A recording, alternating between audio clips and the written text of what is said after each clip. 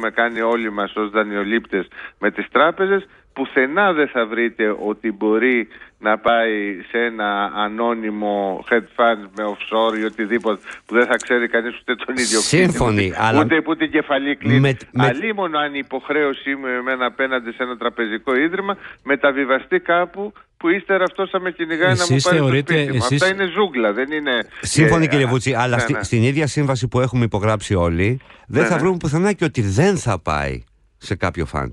Εάν άμα, άμα είμαστε κακοπληρωτές.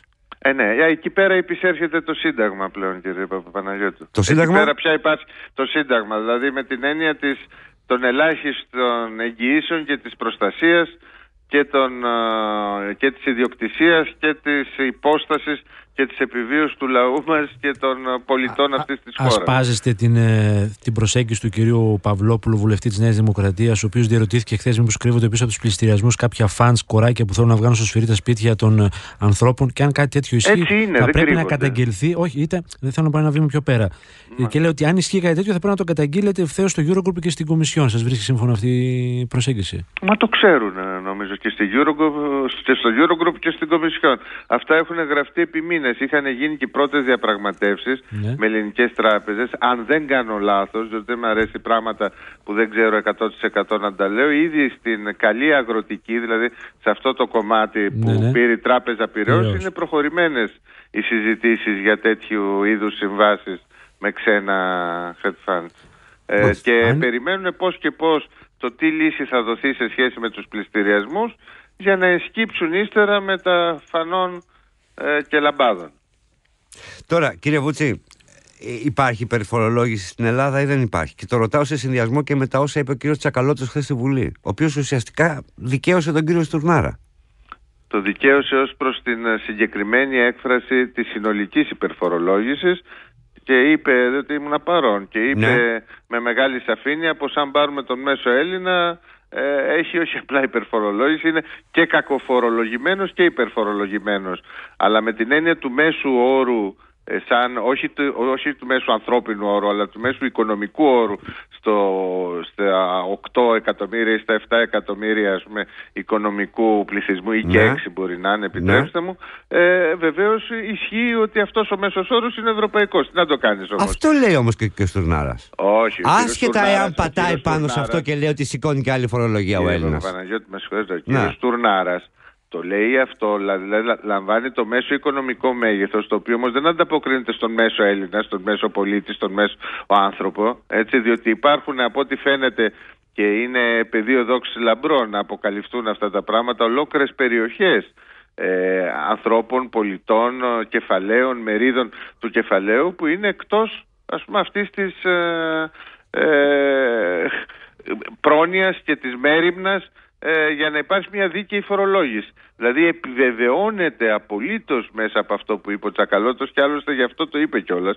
Το είχαμε συζητήσει και στην κοινοβουλευτική ομάδα. Ότι παιδιά μην παίζετε με τους αριθμούς και τα οικονομικά μεγέθη απουσία των ανθρώπων. Πάμε στον μέσο πολίτη για να δούμε ακριβώς τη φορολόγησή του και εκεί είναι πολύ περισσότεροι από τον μέσο φορολογούμενο Ευρωπαίο. Τώρα, θα δείτε και την ομιλία του καθ' αυτή φαντάζομαι. Ναι. Θα την έχετε δει. Έτσι. Να πάμε σε ένα άλλο θέμα, κύριε Βεβαίως. Βούτσι. Άκουσα τον κύριο Τσίπρα χθες στην ομιλία του στο Ελληνοαμερικανικό Επιμελητήριο και σε κάποια στιγμή είπε, ανέφερε ότι είμαστε σε κρίσιμο σταυροδρόμι. Ουδής δικαιούται να ψηφίσει παρόν. Όλοι θα κρυθούμε για το θάρρος μας να υπερβούμε τις διαχωριστικές γραμμές του παρελθόντος.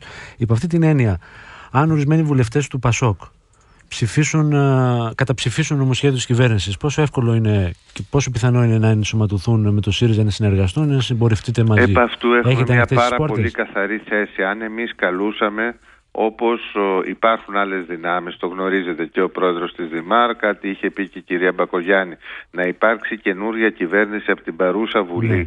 Τότε ευλόγως ε, θα μας λέγανε αυτά που μας λένε ότι οποιαδήποτε πρόσκληση προς τους βουλευτές άλλων κομμάτων να ρίξουν την κυβέρνηση έχει μέσα της αυτό το στοιχείο της ενσωμάτωσης στην εναλλακτική πρόταση που θα είχε κορμό το ΣΥΡΙΖΑ. Ναι. Εμείς έχουμε πει σε όλους τους τόνους και με όλες τις ευκαιρίες ότι θέλουμε να πέσει η κυβέρνηση να γίνει δημοκρατική πολιτική αλλαγή εκτός της σημερινής Βουλής, δηλαδή να πάμε άμεσα σε εκλογές. Οπότε αντιλαμβάνεστε ότι δεν σχετίζεται δηλαδή, με κάποιο είδους ε, ναι. αποστασία ή προσχώρηση στο δικό μας Δηλαδή κόμμα. κύριε Βούτσι αποκλείεται να συμπράξει ο ΣΥΡΙΖΑ στο σχηματισμό κυβέρνησης από την παρούσα Βουλή. Ναι, ναι αποκλείω απολύτως.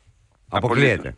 Ό,τι και αν συνέβαινε. Ακόμα και αν είναι με πρωθυπουργό Τσίπρα και με ένα συνδυασμό δυνάμεων. Ό,τι ο οποίος... και αν συνέβαινε. Διότι αυτά αντιλαμβάνεστε όταν υπάρχουν διαφορετικές στρατηγικές είναι συνηθιγενή σχήματα. Εδώ απαιτείται μια καθαρή με... καινούργια εντολή προς όποια κατεύθυνση. Με βάση αυτή τη συλλογιστική, έχουμε, πρέπει να γίνουν εκλογές. Εκλογές πότε τους τοποθετείτε, Γιατί πολλοί λένε ότι μέσα στην Προεδρία είναι δύσκολο να γίνει. Άρα ουσιαστικά πάμε για τον πιο πιθανό τον Μάιο με τριπλές κάλπες.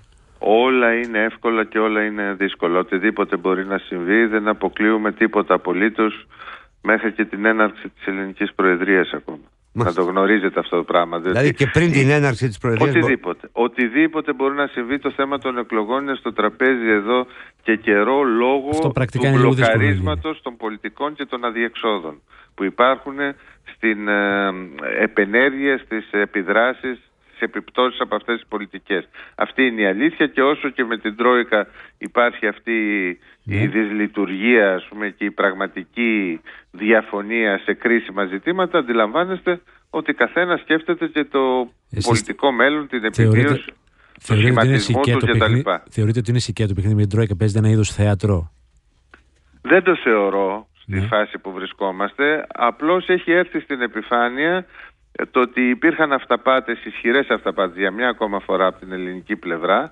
ε, ότι μετά τις γερμανικές εκλογές θα γίνει τώρα η πολιτική συζήτηση ε, για το ζήτημα του χρέους. Δεν έχει αποτολμήσει η ελληνική πλευρά ποτέ να πει ότι δεν είναι βιώσιμο. Αυτό είναι μεγάλο αγκάθι και μεγάλη υπονόμευση της ελληνικής θέσης, διότι έρχεται ο Σόιμπλες, σου χτυπάει την πλάτη και λέει παιδιά αφού τα πηγαίνετε καλά πάμε με την ίδια συνταγή. Είναι εγκλωβισμένη η κυβέρνηση και ταυτόχρονα υποχρεωμένη να κρατήσει κάποιες κόκκινες γραμμές για τα θέματα που έχουν πει και άρα η σύγκρουση έχει τα στοιχεία ας πούμε, μιας πραγματικής αντιπαράθεσης.